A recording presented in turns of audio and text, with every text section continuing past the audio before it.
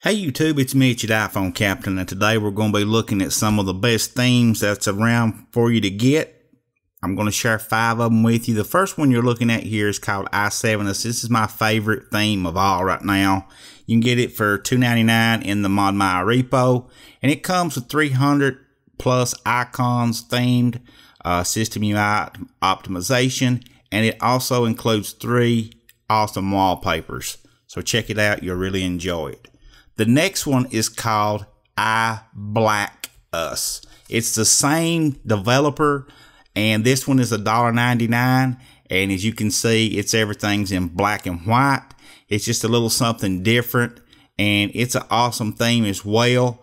And you can get this, like I said, in ModMy for $1.99. And it comes with 220 icons, three dark wallpapers, classic dock support, and iconomatic support. So check out those tweaks to add to that theme as well. Avanti Glass is a very clean and smooth, and it comes with 150 icons themed user interface, and it supports iOS 6 through 7.0.6 on the iPhone 5, 5C, and 5S.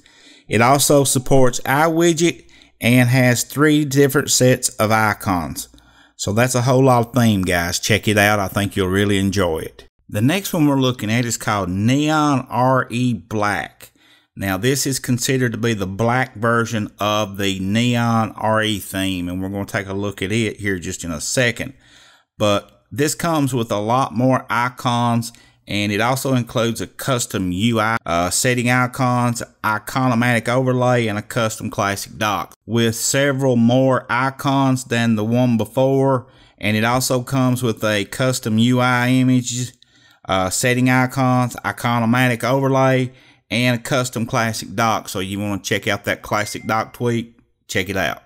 7 Impact, and it themes everything imaginable it's a full theme, it says, and it not only themes your icons, but the whole user experience.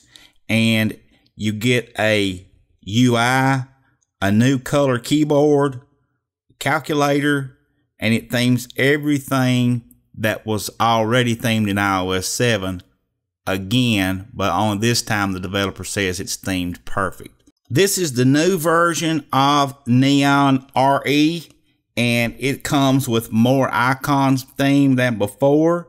It includes a custom UI images, setting icons, iconomatic shadow, and custom classic dock. So check that out and see if you like it. Guys, if you enjoyed today's video, please hit that thumbs up button. It really helps us out. Share it on Facebook and Twitter. And if you're not a subscriber, we'd love to have you here. Hit that subscribe button before you go and keep coming back.